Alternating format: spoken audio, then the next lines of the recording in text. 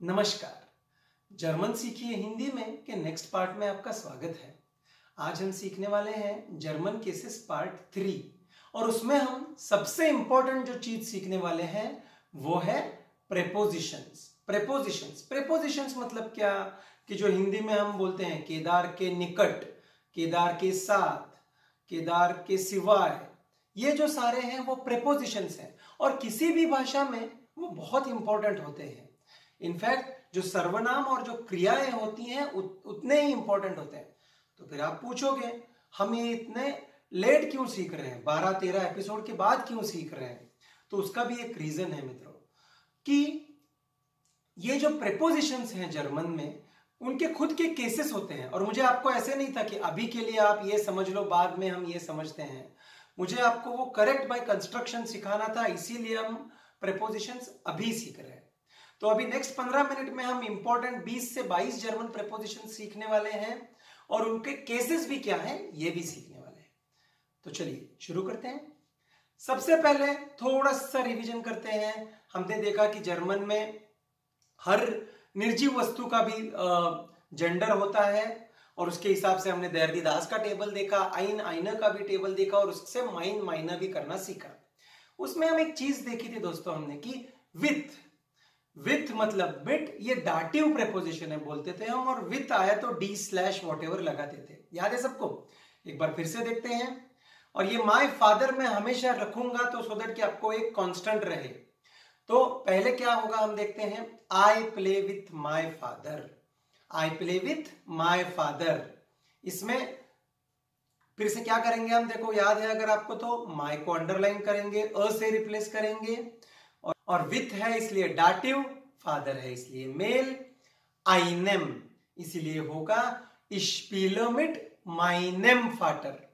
Clear है सबको? इश्पीलोमिट माइनेम फाटर। अगर ये क्लियर है तो बाकी का एकदम सिंपल है। जैसे ये मिट एक डाटिव प्रेपोजिशन था वैसे हम और थोड़े डाटिव प्रेपोजिशन देखते हैं। कौन कौन से हैं देखो? पहला है नाक। नाक मतलब after after I come after my father okay जू मतलब to one of the most important ones I go to my father फिर है आउस आउस is out of out of फिर है बाय बाय मतलब I work at Seagate okay then जाइट जाइट मतलब since I am living in Munich since two years and last one is fawn फॉन मतलब ऑफ़ या फ्रॉम ऑफ़ या फ्रॉम तो ये जो सारे हैं, ये भी डाटिव है। डाटिव मतलब क्या? दो एग्ज़ाम्पल लेते हैं तो आपको एकदम क्लियर हो जाएगा। सिंपल माय फादर ही रखेंगे हम। तो पहले देखो I go to my father I go to my father फिर से हम क्या करेंगे? माई को अंडरलाइन करेंगे, अ से रिप्लेस करेंगे। अभी टू है। टू मतलब जू है। जू है तो क्या है? डाटिव और फादर क्या है? मेल डाटिव मेल आई नेम माई नेम इशगेह जू माई नेम फाटर। सिंपल है right similarly I come after my father I come after my father फिर से अंडरलाइन किसे होगा? माई को अ से रिप्लेस करो। आफ्टर इज़ नाक नाक भी डाटिव है। डाटिव मेल आइनेम माइनेम इश्कोम नाक माइनेम फाटर सिंपल है राइट इंपॉर्टेंट क्या है आपको वो जो मिट फॉन नाक जू है, वो एक बार उनका अर्थ पता है तो आपको सिर्फ़ इतना याद रखना है, जैसे मिड डाटिव था, वैसे ये भी डाटिव है। डाटिव प्रेपोजिशंस क्लियर है? अभी थोड़े प्रेपोजिशन ऐसे हैं, जो अकुजेटिव भी है, जो अकुजेटिव भी है। मतलब क्या हम देखते हैं, पहले वो प्रेपोजिशन कौन से हैं, वो देखते हैं हम। फ्यूर मतलब फॉर फ्यूर मतलब फॉर ओनर मतलब विदाउट ओनर मतलब विदाउट अभी याद रखो मिट मतलब विद डाटिव था ओनर विदाउट अकुजेटिव है। क्यों है? लैंग्वेज है। ओके बिस मतलब टिल बिस मतलब टिल दुर्श मतलब थ्रू दुर्श मतलब थ्रू गेगेन मतलब अगेंस्ट गेगेन मतलब अगेंस्ट उम मतलब विद इन दैट रेंज उम मतलब राउंड अबाउट ओके ये जो प्रेपोजिशंस हैं वो है अकुजेटिव इनमें से दो सबसे इंपॉर्टेंट है फ्यूर और ओनर वो हम देखते हैं। तो ये फ्यूर ओनर कैसे करेगा? देखो, हम दो एग्ज़ाम्पल देखते हैं तो आपको एकदम इजीली पता चल जाएगा। तो सबसे पहले माय फादर को नहीं छोड़ना है। I cook for my father I cook for my father फिर क्या होगा? माई को अ किया। फ्यूर अक्यूजाटिव अक्यूजाटिव मेल आइनेन माइनेन इश कॉख फ्यूर माइनेन फाटर सिंपल है राइट वैसे ही आई कम विदाउट माई फादर मैं अपने पिताजी के सिवाय आता हूँ। फिर से किसको अंडरलाइन होगा? माय को अ किया विदाउट क्या है? ओन ओन है अकुजाटिव इसीलिए होगा अकुजाटिव मेल आइनेन माइनेन इश्कोमा ओन माइनेन फाटर एकदम सिंपल है राइट फिर से, आपको क्या याद रखना है? ये प्रेपोजिशन याद रखने हैं। और ये अकुजाटिव हैं। जैसे मिट आए तो डी स्लैश करते थे, वैसे अगर ये प्रपोजिशन आए तो ए स्लैश करना है। क्लियर है सबको? अभी हम थर्ड टाइप ऑफ़ प्रेपोजिशन सीखते हैं, जो बहुत आसान है। मतलब प्रेपोजिशन खुद बहुत आसान है और ये हम बहुत यूज़ करते हैं। तो ये मेरे साथ सीखो आप। अभी देखो इंग्लिश में अगर आप सिर पे हाथ रखते हो, सिर पे हाथ रखते हो या मेज पर पुस्तक रखते हो तो भी उसको ऑन ही बोलते हैं। और अगर आप घड़ी या तस्वीर अगर दीवार पे लगाते हो तो उसे भी ऑन बोलते हैं राइट जर्मन में ऐसे नहीं है, दोनों ऑन अलग हैं। तो वो कैसे हैं, आपको टेबल में तो उसका मीनिंग दिखेगा, पर जहाँ पे मेरे पास ध्यान रखो, आपको इजीली और आप ऐसे ही याद रखोगे ना तो आपको आसानी से याद रहेगा। देखेगा मेरे साथ?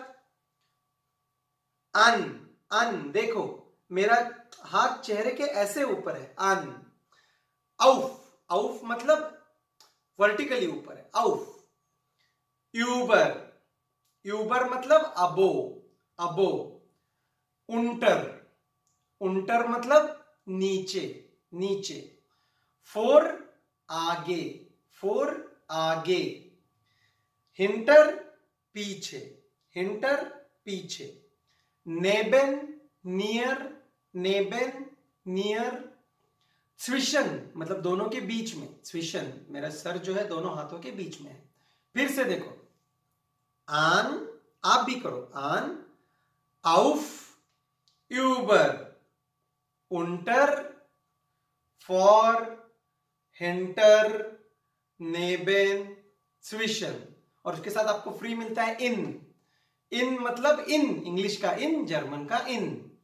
अब ये प्रेपोजिशन इजी है ना, बहुत बार यूज़ करते हैं हम। There is no problem in that main क्या है? थोड़ा सा जो लोग यहाँ पे कंफ्यूज होते हैं, वो है कि ये चेंजिंग प्रपोजिशन है, जिसको वेक्सल प्रपोजिशन बोलते हैं। अभी चेंजिंग प्रपोजिशन मतलब क्या? ये कभी अकुजाटिव होते हैं, कभी डाटिव होते हैं। थोड़ा मुश्किल लगाना। पर सिंपल है, उसकी मैं आपको एक ट्रिक देता हूँ, एक ट्रिक देता हूँ।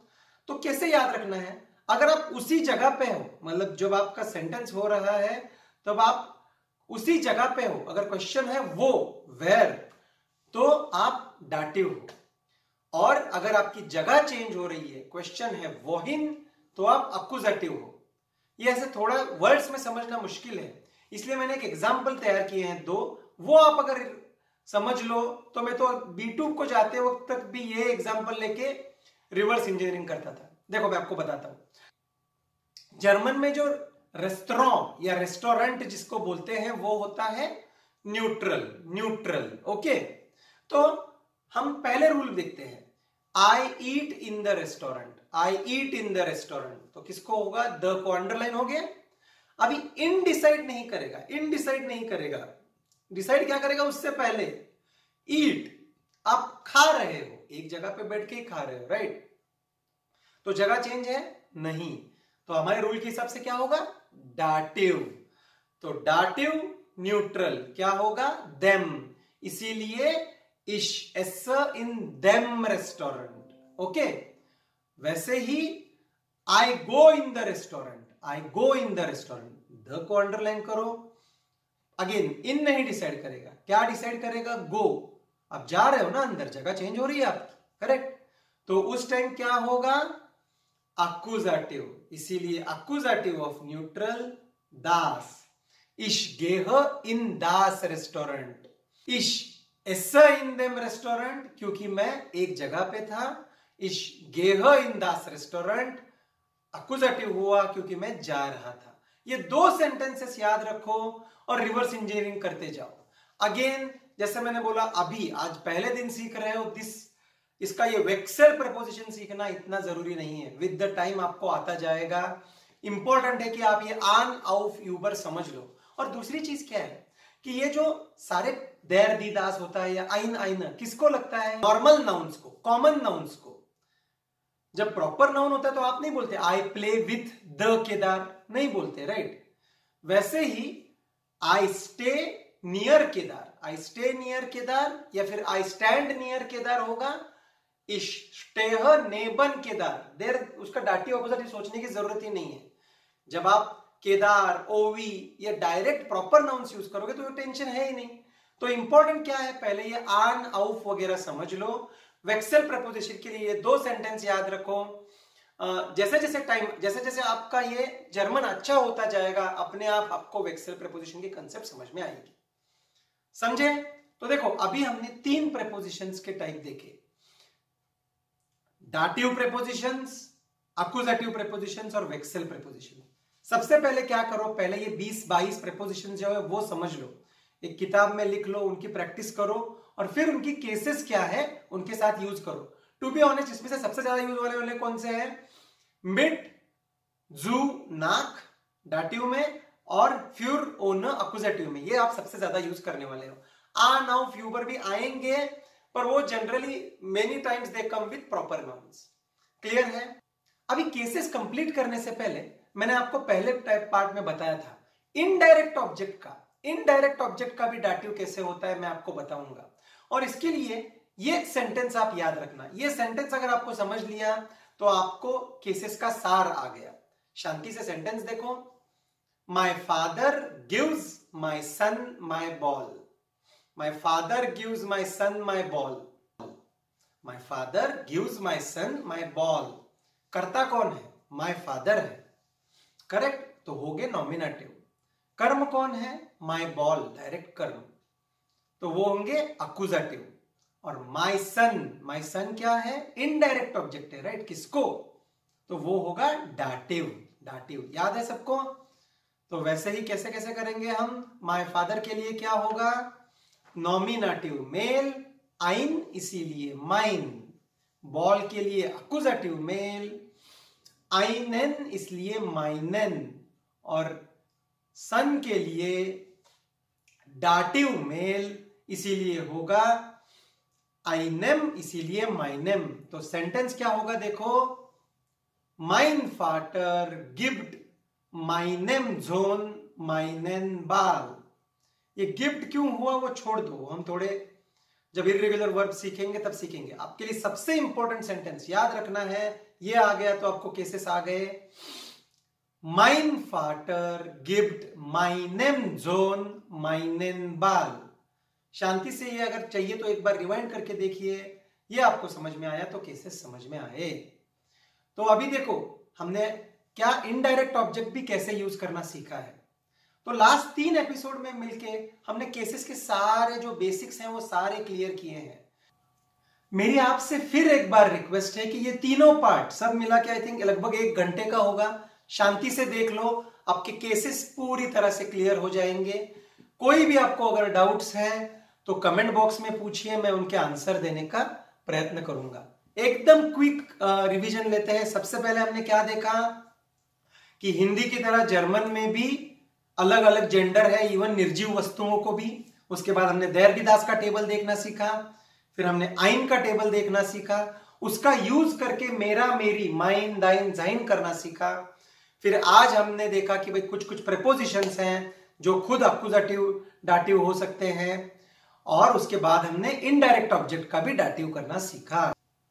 एकदम शॉर्ट अगर आप करता हो सब्जेक्ट हो तो नॉमिनेटिव हो अगर आप कर्म हो ऑब्जेक्ट हो तो अकुजेटिव हो, या फिर अगर आप फ्यूर ओनर के साथ हो तो भी अकुजेटिव हो। और अगर आप इनडायरेक्ट ऑब्जेक्ट हो, या फिर आप मेट फ़ोन जून के साथ हो तो आप डाटिव हो। ये एक एक्सेस मेल फीमेल नॉइट्रोमिक एक्सेस आपके केसेस हो गए। मुझे आशा है कि आप सबको ये केसेस कंसेप्ट समझ में आई होगी। हम मिलते हैं नेक्स्ट एपिसोड में। धन्यवाद।